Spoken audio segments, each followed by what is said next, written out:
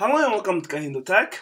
In this video, I'll show you how to delete comments made on YouTube through the YouTube app. Okay, so let's begin.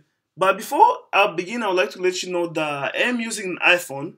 If things look slightly different for you, but I'm pretty sure they're very much the same.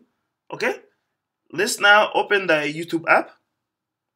Once you have it open, and I'll just go ahead and make a comment on one of these videos so I can just demonstrate how to delete a comment. And I'm just waiting for this app uh, add to finish so I can pause the video. All right, now me pause it. And let's say I wrote a comment, uh, true. Okay, and I'm just writing a comment so I'll be able to delete something. All right, now if you uh if you see to the right of my comment where it says true, to the very right of that, there are those three dots.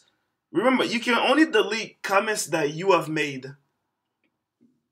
You can't delete other people's comments. Just you can only delete comments that you have made, okay? Or and then you can delete comments uh on your videos, on your videos and and comments that you have made. But if it's not in your video and you haven't made the comment, you won't be able to delete it, okay? Now to delete the comment, if you see to my right of this comment, there are those like three uh three dots horizontal I mean vertical dots. Go ahead and tap on that on the dots.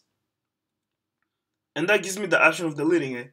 And I just have to tap delete and then delete your comment permanently and say delete. And there you go. That's how you delete a comment that you have made.